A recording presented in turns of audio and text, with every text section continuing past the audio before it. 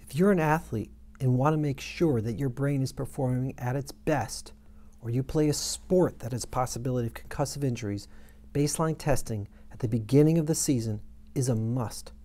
I'm Dr. Adam Briner, and welcome to the NeuroEdge Brain Performance Center, where we strive to bring athletes, students, executives, and anyone who wants to improve their overall cognitive well being the very latest in brain performance enhancement techniques.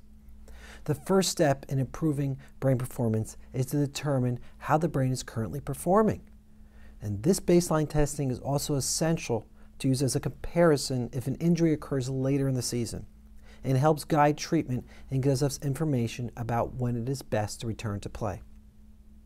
As awareness of, of concussions has grown over the past several years, there are more and more teams and schools that require concussion education and some form of baseline testing. Over the many years that I've been treating traumatic brain injuries, I've found that brain functional imaging using EEG is one of the most sensitive tools to assess brain function. Therefore, I encourage all athletes to get a baseline EEG. I'll discuss how this done, is done in a moment. And to get even more information how the brain is performing, I also test cognitive performance using CNS vital signs, a computer cognitive performance test as well as measuring vestibular function with computerized balance testing. Using this triple baseline testing approach, we have the most comprehensive and sensitive means to assess one's brain's function and performance. So, what is an EEG and how do we get a baseline? EEG is an acronym for electroencephalogram, and it is the measure of a brain's electrical activity and it's truly a functional assessment of how the brain's neuronal networks communicate. Traditionally, EEGs measure just the outer surface of the brain's activity, but with newer advances called sLORETA, we can image deeper brain structures and their electrical activity as well. The first thing we do is place electrode cap on a patient's scalp. And a conductive gel is then injected into those caps electrodes so that the subtle electrical signals from the brain can be picked up. These signals are amplified and processed by a computer where we see the brain's waves projected on the screen. Next, we remove all the artifacts created by muscle and eye movement so we get a clean EEG. And as you can see here, with sLORETA imaging, we're able to see how the brain behaves in real time and compare it to a normative database. We can even utilize a patient's past brainwave baseline as a comparator after an injury to see how far their brain has deviated from their pre-injured state. This is a great way to tell if one's brain is healed. Brain maps are also generated, letting us understand more of how the brain is communicating and the best ways we can intervene with therapies like hyperbaric oxygen, neurofeedback, transcranial electrical and magnetic stimulation, supplements, and more. The next baseline test involves taking a computerized neurocognitive test. This will measure one's overall cognitive performance as well as details as the various aspects of memory, psychomotor speed, attention, and social acuity. We utilize CNS vital signs as one of the most researched and sophisticated tests out there.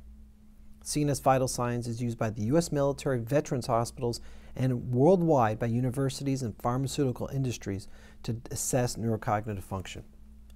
A patient takes this test in the office, or if appropriate at home. It usually takes between 30 to 45 minutes depending on the number of areas being tested. A report is generated that allows us to see what areas a person is either performing above average, if they're average, low, or very low when compared to the normative database.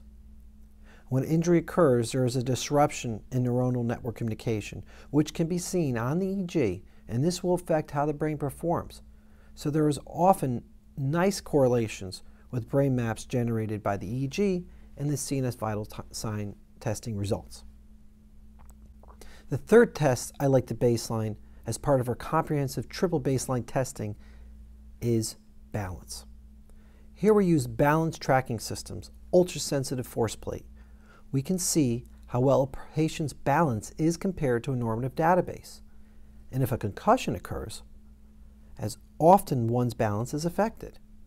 However, this may also give us information about people's risk for falling in all age groups. The test is simple. After getting the patient's height, weight, and age, they stand on the balance plate, shoulder width apart, eyes closed, and hands on their hips. First, there's a preliminary test that is performed to get one used to what they'll need to do, and then three more 20 second tests are performed. Finally, the tests are averaged out and a report is generated. Altogether, this test takes about two to three minutes, so it's very fast, easy, and convenient. As you can see, the NeuroEdge triple baseline testing is very comprehensive and can help us know how well your brain is performing. I know of no other clinic offering such a detailed evaluation. This information is essential if you want a baseline comparator in case of a future injury and is the first place to start when figuring out a customized brain performance enhancement program. So schedule your baseline testing today.